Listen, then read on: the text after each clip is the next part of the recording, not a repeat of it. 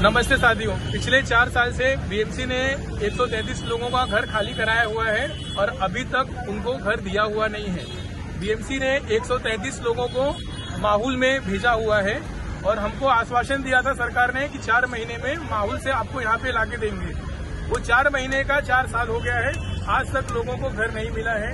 जितने भी पॉलिटिशियन थे सबसे मिलके हो गया है, लेकिन अभी तक लोगों को उम्मीद की किरण नहीं मिली है। आज हम सब लोग बीएमसी कमिश्नर के पास आए थे।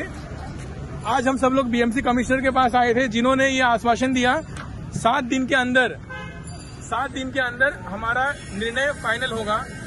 और हमने भी बीएमसी को सात दिन का अल्टीमेटम दिया हुआ है। सात दिन के अंदर अगर लोगों का घर का आगे रास्ता नहीं खुला तो एक उग्र आंदोलन यहाँ पर किया जाएगा। जय हिंद, जय महाराष्ट्र। जय महाराष्ट्र।